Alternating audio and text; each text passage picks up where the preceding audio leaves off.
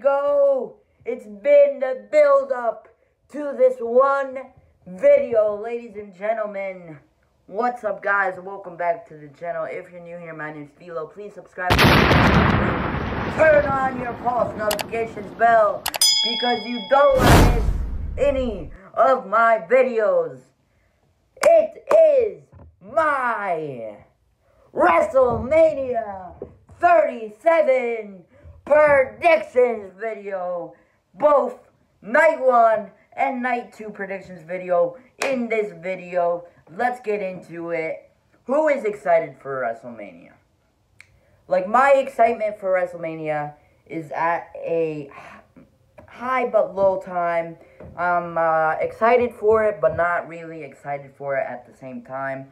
Most of the build-ups have been good. Most of the build-ups has been meh. Most of the build-ups have been garbage. Uh, BTW Braun Strowman versus Shane McMahon. That whole build-up. Stupid. Stu-stu-stu stupid. Stupid. The build-up of Braun versus Shane. That whole storyline. That whole feud is stu-stu-stu-stu-stupid. Oh my gosh, Braun Strowman is so stupid. Not even stupid, so boring. But but but but boring. So boring. Anyway, we're here at WrestleMania 37 predictions and let's get into it. So, let's get into the tag team turmoil match on night one. We've got Lana and Naomi, Mandy Rose and um, Mandy Rose and Dana Brooke, the Riot Squad and Natalya and Tamina. I only see two tag teams winning this match. It either is going to be Lana and Natalya, no, Lana and Naomi winning this match, going into night two, and might even win the Women's Tag Team Championships off of Nia Jackson, Shayna Baszler, or my prediction to win this match is the Riot Squad. Um, I know we already saw Nia Jackson, Shayna Baszler versus the Riot Squad, but um, I feel like that WrestleMania moment, even if it's a win or a loss, is perfect for the Riot Squad. The Riot Squad, I feel, needs that WrestleMania moment for them. Um, I feel like this match, I'm not really excited for the match as um the other matches, but I feel like it's going to be, I mean, a good match either way. Yeah, a good match. Alright. Next match. We got Cesaro versus the Drip King, Seth Rollins. And guys, this match is going to be the best match of the whole week. Yes, I said it. The build-up has been, I'll say, I'll say good. I'll say great, actually. I've been enjoying the build-up. Seth Rollins being swung every single week. Um, Seth, Rollins being in a drip. And this guy's drip has been amazing the last couple of weeks. Um, to Seth Rollins finally challenging him to WrestleMania. And guys, I would be okay with Seth Rollins winning, but something in my gut says it's Cesaro's WrestleMania moment finally. Cesaro's going to take it home. Seth Rollins is going to give the win to Cesaro. Next match, let's talk about the Raw Tag Team Championship match as the 11th time WWE World Tag Team Champions, The New Day, defending their titles against AJ Styles and Omos. Guys, I can't wait to see the uh, gear for Omos. um, I kind of imagine him coming down with the tux and everything and wrestling in that uh, attire. But as of my prediction for that match, hands down, AJ Styles and Omos are going to be our new Raw Tag Team Champions. I'm excited to see where they're going to take them after they win the belts. Next up, we got Bad Bunny and Damian Priest going two on two against The Miz and John Morrison. And I don't know. Let's start by talking about the one on one match that was going to happen for WrestleMania. All I need to say about that match is I don't know where WWE was going with that match. Um, but I'm glad that it's a two on two now. Now Damian Priest gets to have his moment, his WrestleMania moment, and John Morrison gets to do something. Maybe smash a guitar on Bad Bunny's face or something cool like that. As of the winners for this match, come on, guys. Since Damian Priest is in the match already, teaming up with Bad Bunny, I mean, I did, I do, I was going to predict Bad Bunny alone when it was going to be a one on one, but uh, Damian Priest is in the match now, and it's Damian Priest's WrestleMania moment. It has to be Damian Priest and Bad Bunny picking up the W against Miz and Morrison. It's gotta be. Next up is the Shane McMahon going one on one against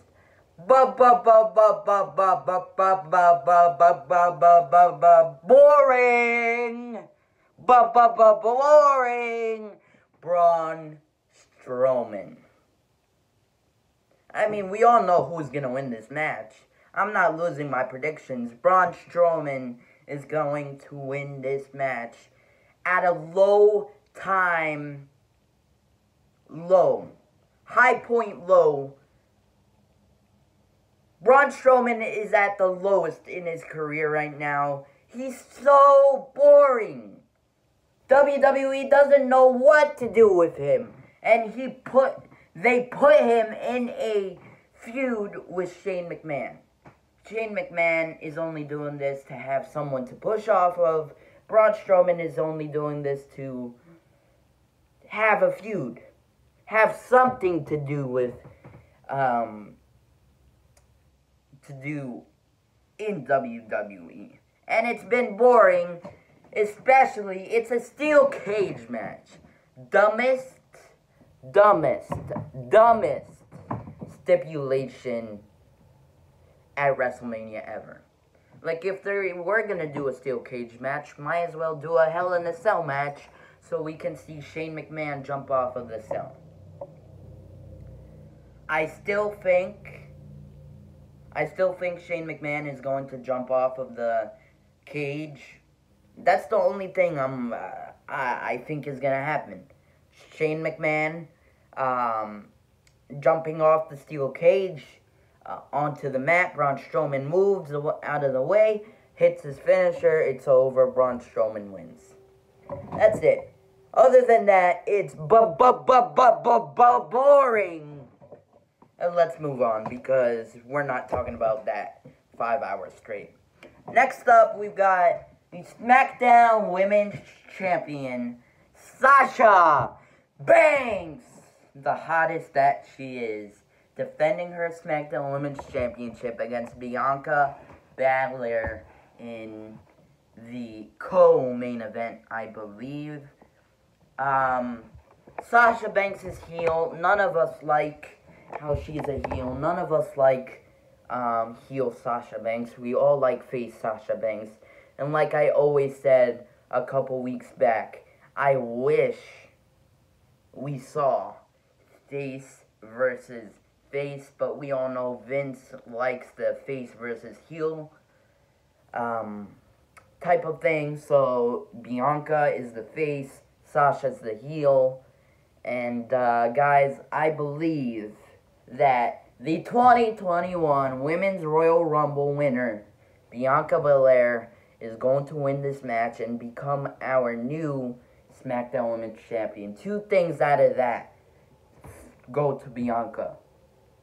I feel like this match is going to be an amazing match. I feel like Bianca Belair is going to show Sasha Banks what she's made of. And the two things that come out of this match that get that helps Bianca Belair that goes to Bianca Belair. I believe I don't believe. If she wins, two things come out of it. She has an amazing match with Sasha Banks. Two African American women main co-main eventing WrestleMania, which is phenomenal for both women. And two, she's the winner of that outcome, which means we are gonna have a new SmackDown Women's Champion, Bianca Belair. Next up, we got the main event of night one as the almighty Bobby Lashley, WWE Champion Bobby Lashley, defending his championship against my man, the Scottish Warrior, Drew McIntyre. We all know who's going to win this match. It's going to be Drew McIntyre, hands down. Uh, the storyline of this match, the build up to this match, hasn't been that great. I mean, there were good stuff and bad stuff about it, but other than that, it hasn't been that great, I'm going to be honest. But uh, we all know Drew McIntyre is going to win the WWE Championship and start his third reign as WWE Champion. All I'm asking here is, we all know Drew McIntyre is going to win uh, uh, later on tonight. So, um, all I'm asking is have Drew McIntyre hold the WWE Championship this time for a very, very, very, very, very long time. I'm hoping for it. I mean, like a year long reign. Like, like Adam Cole's NXT Championship reign. I want that for Drew McIntyre, and it mu must. It has to be that. I'm counting on it for it to be that for Drew McIntyre. Now let's talk about night two. Starting off with Asuka, the Raw Women's Champion, taking on Rhea Ripley for the Raw Women's Championship. Guys, I think this match is going to be great, but Bianca Belair is going to win the SmackDown Women's Championship on night one. And on night two, it's finally going to happen. On her first night, on Monday Night Raw, Rhea Ripley is going to become our new Raw Women's Champion. And just think about that. That is history being made because two NXT superstars coming up to the main roster in less than a year together, right after each other. Bianca Belair came first. Rhea Ripley's coming now, and and now and now they are going to be their brand's champion.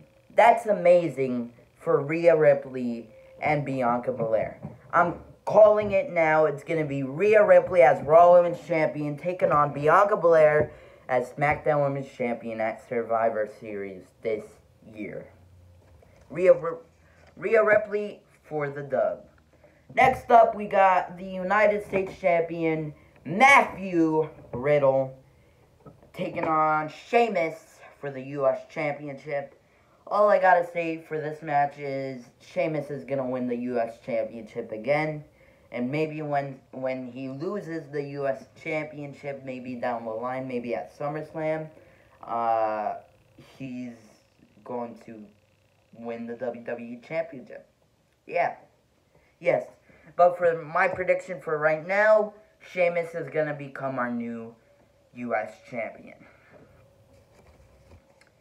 Next up, we got the Intercontinental Champion Big E taking on Apollo Crews for the Intercontinental Championship in a Nigerian drum match. Now, I don't know what a Nigerian drum match. I'm just happy that the match has a stipulation, but I'm also disappointed in WWE because I actually wanted a 2 out of 3 falls match. I thought it was perfect for their feud right now, especially because they had two match or three, four matches already for the Intercontinental Championship, and they all ended in controversy. Either them arguing about the finish, or um, a roll up, or Apollo Crews uh, taking down Big E. I I thought it would have been perfect for their storyline right now, but I'll take a Nigerian drum match. I think it's gonna be unique and uh, one of the one of the unique matches in WrestleMania history. My prediction for the match: WWE, please give it to uh, now. You can give it to Apollo Crews. My prediction uh, we're going to have a new Intercontinental Champion, Apollo Crews.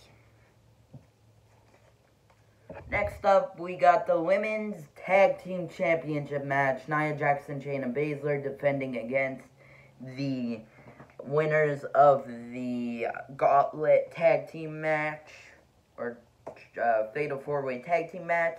In my winners were the Riot Squad, and guys, I'm gonna say if the Riot Squad win, I'm gonna pick the Riot Squad winning the Women's Tag Team Championships. I feel like it's gonna be so huge for the Riot Squad. Not to mention, they need this WrestleMania moment for them. But if, I mean, if it's Lana and Naomi, then they're gonna win. If it's the Riot Squad, they're going to win the Women's Tag Team Championships. But my prediction for the Gauntlet Eliminator match is the Riot Squad. So therefore, for the Women's Tag Team Championship match on night two, I got the Riot Squad winning the Women's Tag Team Championships. Not really excited for that match, not hyped for it, but excited to see it maybe a little bit. Next up, we got Kevin Owens versus Sami Zayn with the involvement of Logan Paul. This is another storyline that I don't care for, that is stupid, like Braun Strowman. It's so dumb. I, it's so dumb. We can clearly tell that Logan Paul doesn't care about Sami Zayn's um, conspiracy theory against him and doesn't really care about Sami Zayn. And we can tell that Sami Zayn's the one that brought Logan Paul in this, that forced him in this. And all Logan Paul is here for is to help Kevin Owens win at WrestleMania. My prediction for the match is Kevin Owens to win and beat Sami Zayn. I don't see Sami Zayn winning, and uh, yeah, but overall, I think this match is to be fire, is to be lit, is to steal the show. Next up, we got one of the matches that I'm most looking forward to as I thought this match was going to have a stipulation. I guess not. I guess we're going to find out tomorrow night.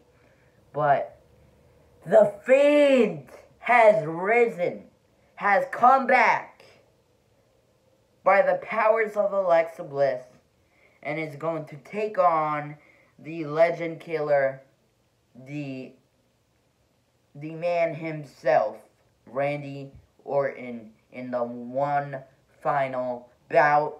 And guys, I believe to end it all off, Bray Wyatt, the Fiend, is going to win this match uh, um, stipulation or not, The Fiend is winning tomorrow night at WrestleMania Night 2.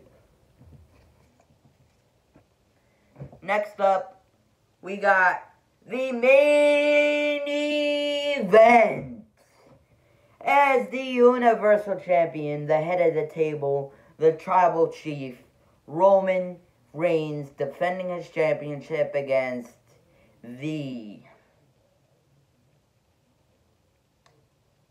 the yes, yes, yes, the leader of the yes movement, Daniel Bryan, and the rated R superstar Edge.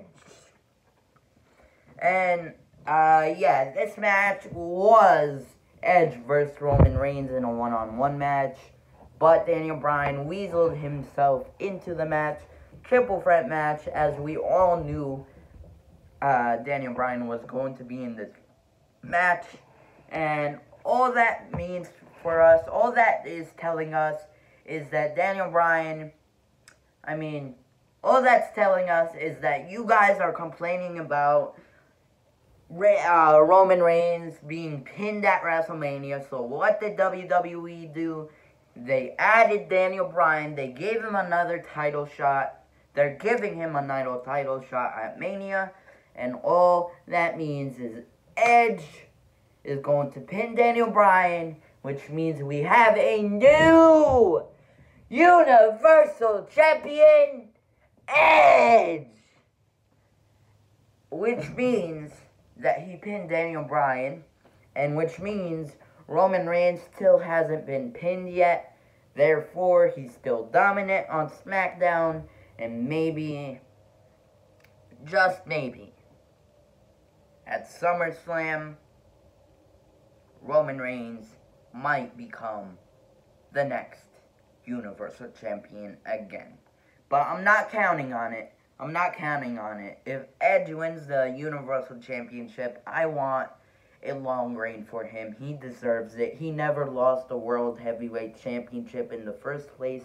He came back last year, beat Randy Orton.